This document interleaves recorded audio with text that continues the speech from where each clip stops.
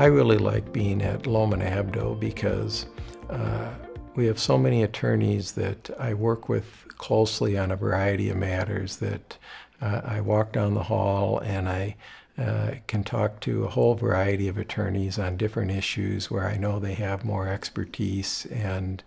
uh, and and I enjoy working with them, and so uh, it becomes uh, like a family. And I think that is of a, a, great benefit to the clients in the long run that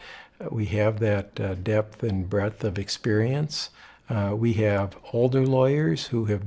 done a lot of things, and we have younger lawyers who have a lot of enthusiasm and are very bright. And when you can blend that mix together uh, for the benefit of the client, then uh, uh, that's what we want to do.